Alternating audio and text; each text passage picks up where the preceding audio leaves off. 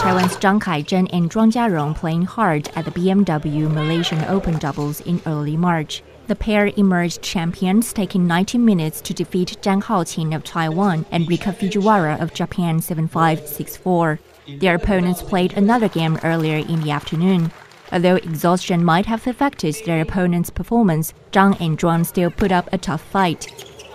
还蛮开心的、啊，因为这一站拿冠军对我们两个的排名就是还蛮有帮助的，对啊，所以也谢谢也谢谢凯珍这礼拜陪我一起出战。拿下这么好的成绩。The victory was a surprise for both of them. 就是很开心，因为我跟嘉荣配的次数不多，然后在这么短的就是时间里，我们又可以赢得一个这样 WTA 的比赛，当然很开心。那也很谢谢他这个礼拜陪我打双打，那我们有这么好的成绩，对啊。The two received 11,000 US dollars in trophies. After winning the championship, they headed to California to compete in another women's tennis tournament. CNA, Kuala Lumpur.